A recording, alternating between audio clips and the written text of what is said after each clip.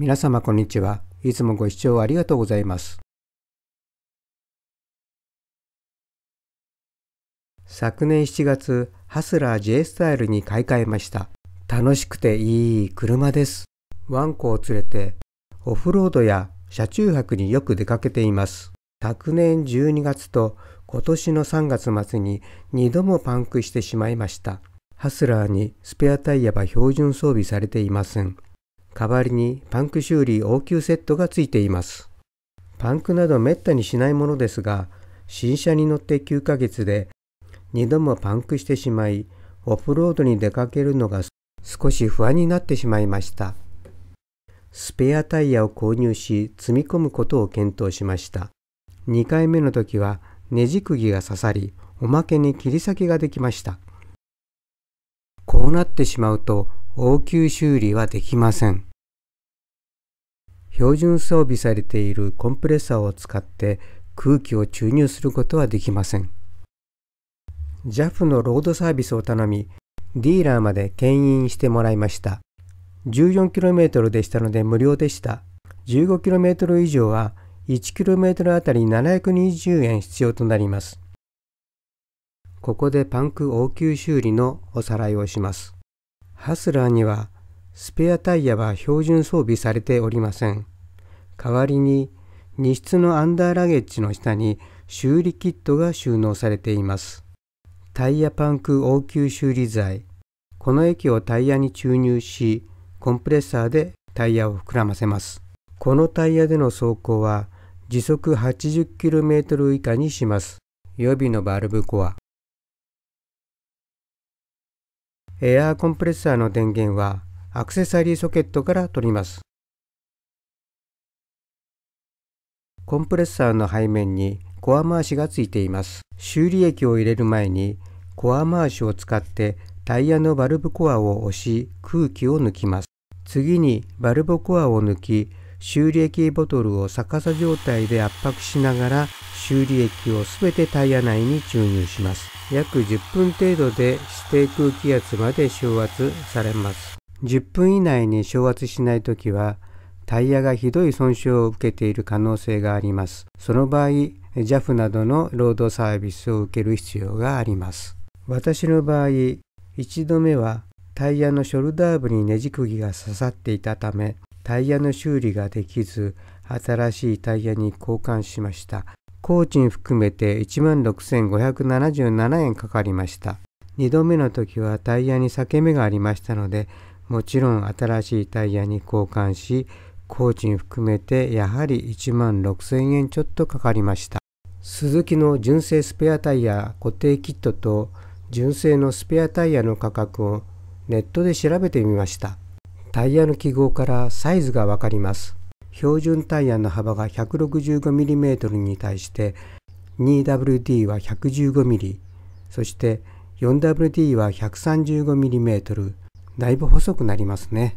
アルファベットの T はテンパータイヤ別名テンポラリータイヤのことで細身の応急用です。これは長くは使えませんので直ちにパンクを修理し取り替える必要があります。パンクしてスペアタイヤに取り替えるとき、注意しなければならないことがあります。ハスラー 2WD は FF、つまり前輪駆動車です。パンクが前輪の場合に、そこにスペアタイヤを装着することはできません。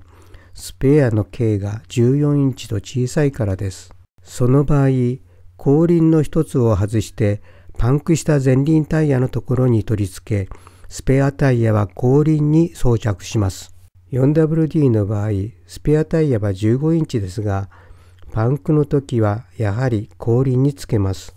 ハスラー 4WD は通常前輪駆動で、前輪に滑りを検知した時、自動的に後輪にも駆動力が伝えられ、四輪駆動となる方式です。いずれにしても、前輪がパンクした時、タイヤの脱着が二度手間になりますので、かなり大変な作業を確保しなければなりません。スペアタイヤがどんな風に収納されるのか見てみることにします。2WD の場合、パンク応急修理キットが収納されている場所になります。通常の15インチタイヤがあるので、それを置いてみます。実際のスペアタイヤはホイールがついてますが、これはタイヤだけです。15インチはどうやっても入りません。純正の 2WD 用スペアタイヤのサイズは14インチでしかも薄いので入るのでしょう。4WD については15インチのスペアタイヤがリアシートの背面に収納されます。スペアタイヤを積む場合、しっかりと固定する必要があります。車をぶつけた時、あるいはぶつけられた時、重いタイヤが飛んでくる危険性があります。また、パンク応急処理キットが収納できなくなり、リアシートのスライドが制限されます。ワンコとの車中泊にもいろいろと制約が出てきそうです。結論としては、パンク応急修理キットと JAF のロードサービスを利用するのが賢明だと思います。パンクに対する不安は拭いきれません。そこで東洋タイヤのオープンカントリーに履き替えました。タイヤのゴムが厚いので釘を踏んでも弾き返す可能性が高いのではないでしょうか。まあ気休めかもしれませんけれど。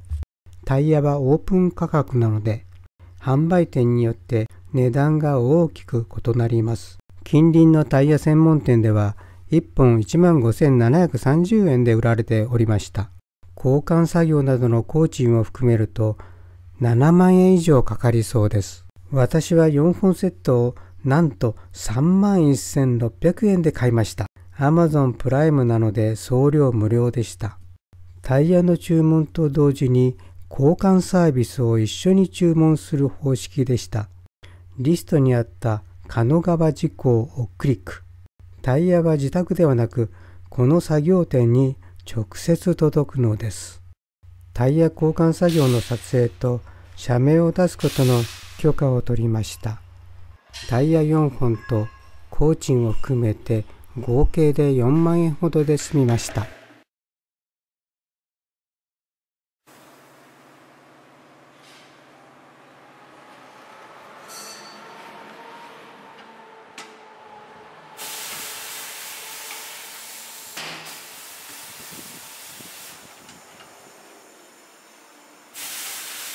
この機械はタイヤチェンジャー。ホイールからタイヤを取り外し、別のタイヤをマウントするのを助けるための機械です。工具を使って自分でやるのはほぼ不可能ですね。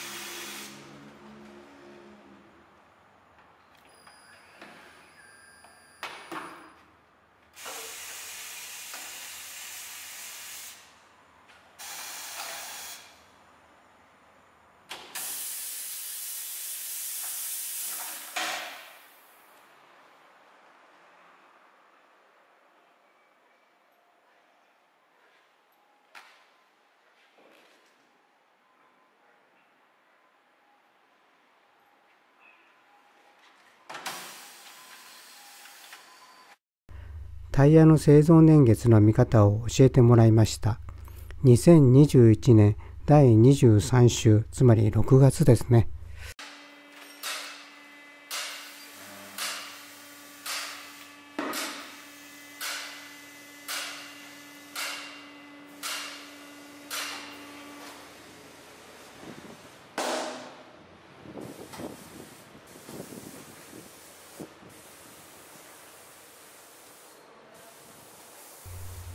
バランシングマシン銅釣り合い試験機。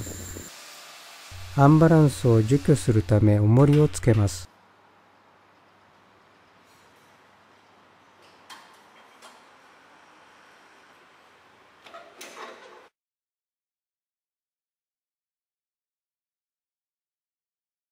ごついタイヤ。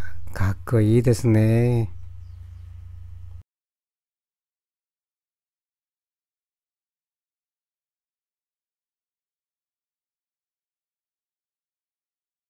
作業は1時間ほどでした。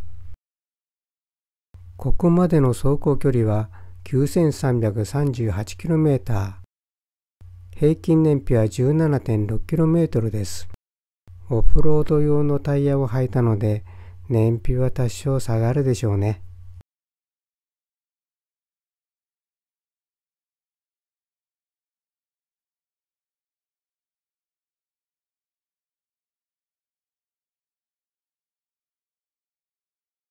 これが今までのタイヤ。そしてこちらが東洋オープンカントリーマッドテレンのオールテレン SUV4WD です。